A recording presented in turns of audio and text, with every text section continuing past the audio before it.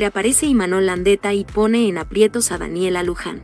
Después de 15 años alejando del medio artístico, Imanol Landeta regresa a los escenarios para reencontrarse con su público en la gira de conciertos 2000 por siempre, en la que se unirá a estrellas de novelas infantiles como Daniela Luján, Martín Rica, Violeta Isfel, Miguel Martínez, Nasla, Fabián Chávez y Roberto Carlo.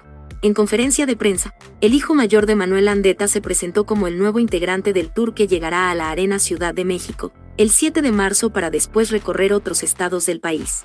Emocionado, Imanol dijo que decidió regresar porque se trataba de un proyecto muy especial en el que puede combinar sus pasiones. Además, fue Daniela Luján quien lo convenció de aceptar. Mis últimos 15 años han sido alejado en plenitud del mundo artístico, por lo que dije, si algún día regreso tiene que ser algo muy importante, y este concierto es una máquina del tiempo. Es hiper emocionante estar hoy en este escenario, expresó precisamente con Daniela Luján, el protagonista de El niño que vino del mar protagonizó un divertido momento cuando, junto a Martín Rica, la besaron haciendo referencia a que ella estaba con sus dos galanes de infancia. Más de una vez, Daniela ha dicho que Imanol era su amor platónico de la niñez, mientras que a Martín Rica se le declaró en pleno boom de El diario de Daniela.